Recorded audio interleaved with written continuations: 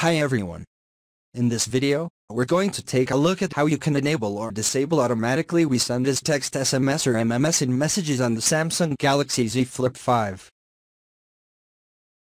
From the home screen, open up the Text Messages app.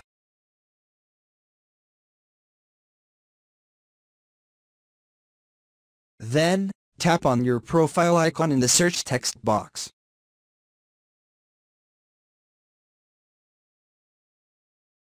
From the pop-up, tap on Messages settings. In here, tap on Chat RCS Chats.